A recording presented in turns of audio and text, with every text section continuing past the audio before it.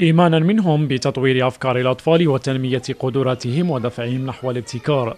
نجح الشاب شريف ورفاقه من حمى بوزيان في افتتاح مركز خاص لتعليم التكنولوجيا الحديثة والروبوت التعليمي والذكاء الاصطناعي. الفكرة جات بناء على التطورات الحديثة آه، على مستوى مناهج التعليمية. آه، الحديثة والمبتكرة من طرف آه، خبراء التربية من أجل إدخال الأطفال في ريادة الأعمال مبكرا. التعليمي اللي رانا نقريو فيه هو من كوريا.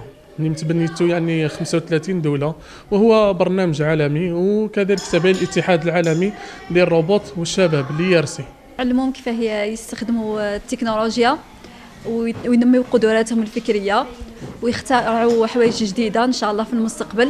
ويكونوا آه، يديروا حوايج جديدة إن شاء الله للجزائر.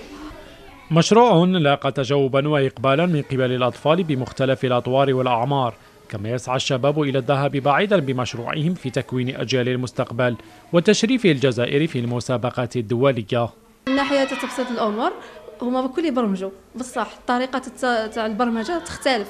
مثلا تاع خمس آه، تبدأ سبع سنين ثمان سنين يبداو ب les blocs برك. ماشي؟ يكتبوا ال texte.